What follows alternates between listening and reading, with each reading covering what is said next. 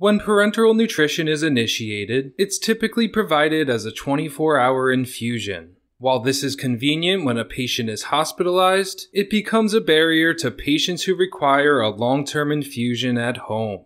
As a result, these patients are often transitioned to cyclic parenteral nutrition. This typically runs for 8 to 18 hours per day, and most of the time it's given at night when the patient is sleeping.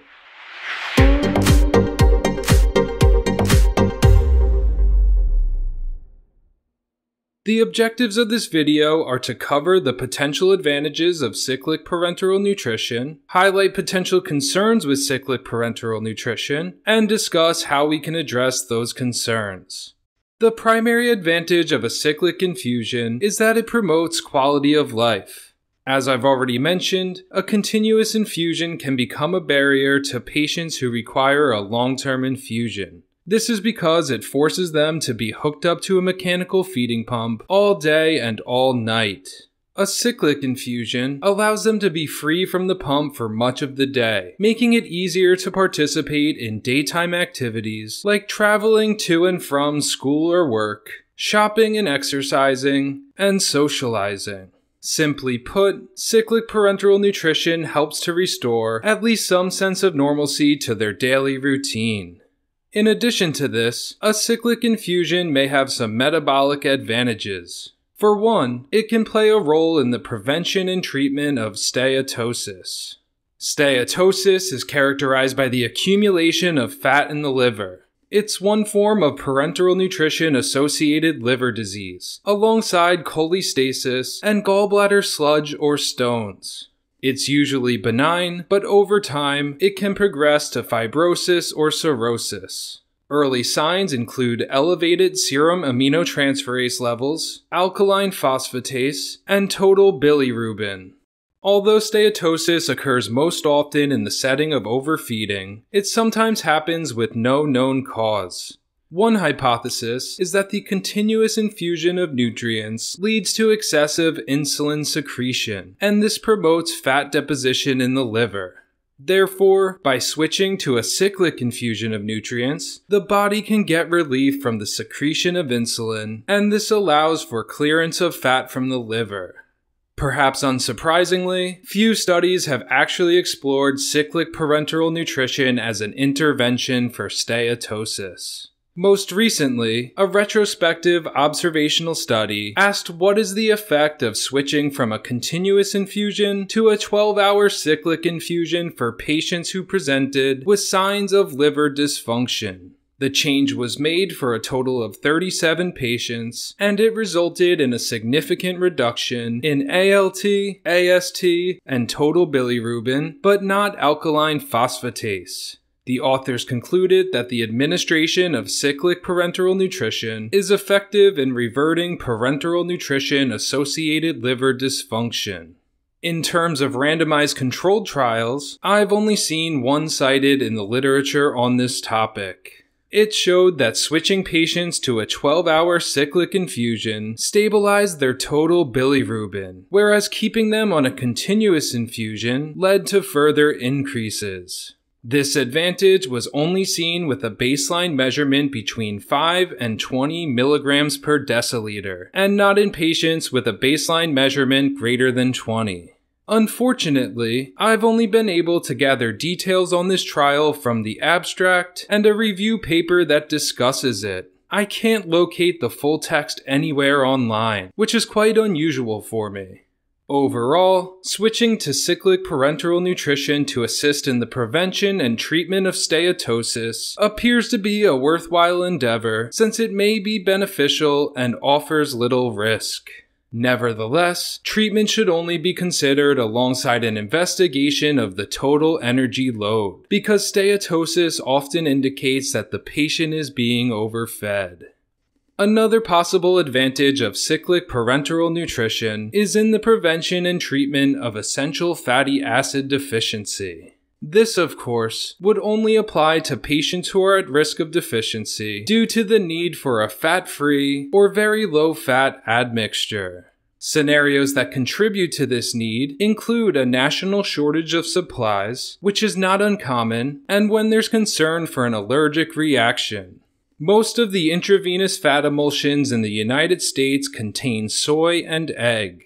Even though allergic reaction to a fat emulsion is rare, there have been case reports of it happening, so sometimes they are withheld in patients with a known history of anaphylaxis.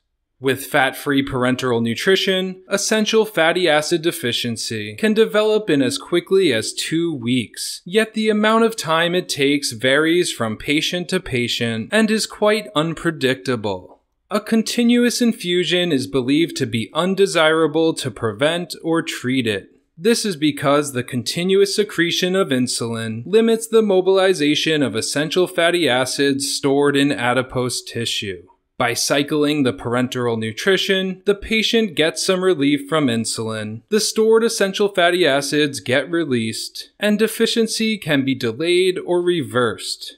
Similar to the treatment of steatosis, the use of a cyclic infusion to prevent essential fatty acid deficiency isn't supported by a large body of evidence. The only study I was able to uncover is from 1979. In this study, Mascioli et al. provided a continuous fat-free parenteral nutrition to seven patients. They were able to induce essential fatty acid deficiency in five of seven of them in six weeks or less. They tried treating the deficiency by switching to a cyclic infusion in just one patient, and it worked within one week. In the end, this intervention falls right next to the prevention and treatment of steatosis. There's potential for benefit, and it carries little risk. If you're enjoying this video so far, make sure you hit the like button and subscribe to the channel. You can also join me on Instagram at Mitchell Zandes, where I post reels and host weekly Q&A sessions. Now that we've covered the potential advantages, we're going to turn to the potential concerns. Historically, the major concern with cyclic parenteral nutrition has been with glycemic control. More specifically, glycemic control in the context of an abrupt initiation and discontinuation of an IV dextrose solution. Clinicians worried that an abrupt initiation of a significant dextrose load would lead to hyperglycemia, and that an abrupt discontinuation of the dextrose load would lead to rebound hypoglycemia. This led many to taper up the infusion rate at the beginning of the session and taper it down at the end of it. For instance, if you have a 14 hour infusion, you would start with a 1 hour taper rate, followed by a 12 hour maintenance rate, and then return to the taper rate for the final hour. The taper rate is often 50% of the maintenance rate. Even though some clinicians and hospitals follow this protocol out of an abundance of caution, several studies have shown that the abrupt initiation and discontinuation of cyclic parenteral nutrition doesn't result in hyperglycemia or symptomatic hypoglycemia in adults. In other words, it appears that starting and finishing adults at the goal rate is safe. As a general practice, it's still a good idea to obtain a point of care glucose measurement one hour after stopping the infusion, especially if you're working on a case where glycemic control has been an issue. You should also monitor for classic symptoms of hypoglycemia like weakness, lethargy, and sweating. Beyond glycemic control, the only other concern I've seen mentioned in the literature is critical illness. This concern is based off a trial by Forsberg et al. It showed that in mechanically ventilated and traumatized and infected ICU patients, use of continuous parenteral nutrition resulted in more efficient fuel utilization than with cyclic parenteral nutrition. This study reinforces that cyclic parenteral nutrition is best suited for stable patients who require a long-term infusion. Before we finish, I want to teach you a little bit more about tapering cyclic parenteral nutrition. As we just saw in the section on glycemic control, doing this isn't necessary for all patients, but it's something to consider when 1. You feel it's best for your patient, like a case where you've had issues with glycemic control, or 2. You work for a hospital or company that requires it as a policy. Once a decision to taper has been made, the first step is to determine the maintenance rate. You do this by taking the total volume and dividing it by the desired infusion time in hours minus 1. After that, you determine the taper rate by taking the maintenance rate and dividing it by 2. Then to finish it off, you write the prescription. As an example, let's pretend you're doing a 14 hour infusion.